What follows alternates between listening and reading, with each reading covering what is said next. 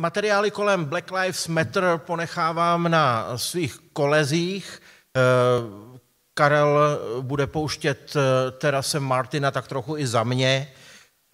S velkou chutí jsem ty výstřely recykloval v nějakých rozhlasových pořadech, ale rád bych na to navázal nebo dotkl se efektem, který ne pouliční protesty, ale spíš diskuze kolem Black Lives Matter letos měly.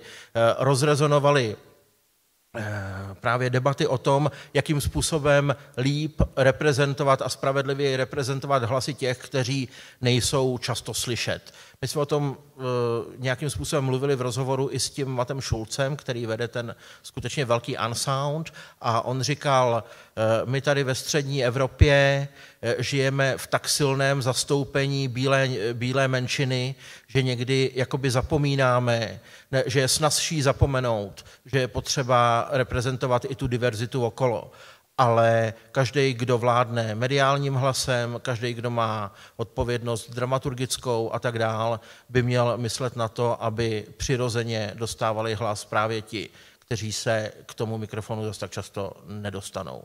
A zdá se mi, že dnes je, pod, je jaksi funkční a podstatná nejenom ta zpráva, ale že veřejnost je i čím dál citlivější na to, kdo to sděluje, jakým způsobem eh, se lidi reprezentují a eh, jak, jestli to vlastně nevyznívá eh, něčích povrchně a tak dále. V souvislosti s tím tématem reprezentace jsem s chutí letos sledoval a teď budu reprezentovat někoho naprosto jiného, než jsem já, ale dělám to s jistou eh, radostí, jsem sledoval, jak po letech se stává tématem americké vydavatelství Olivia Records, což bylo první a zároveň velmi jaksi pevně organizované vydavatelství pro lesbickou hudbu, respektive pro hudbu žen, vytvářenou pro ženy a silně a jaksi vycoming outovaně reprezentující právě e, lesbickou komunitu zhruba od roku 1969. U nás by bylo naprosto nemožné hledat nějakou paralelu vůči tomu v hudební kultuře. U nás taky panovaly, panovaly jakoby jiný poměry.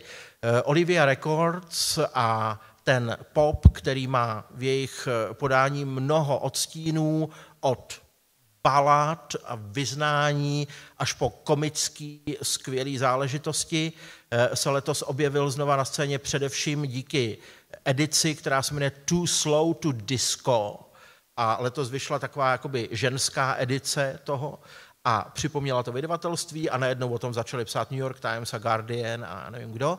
A celá tahle ta linie se znovu zpřítomnila. My si pustíme nikoli disco, ale eh, písničkářskou záležitost, která stála velmi na začátku toho všeho, na konci 60. let a má to dikci protest songu nebo jaksi folkového songu 60. let. Autorka se jmenuje Maxine Feldman, eh,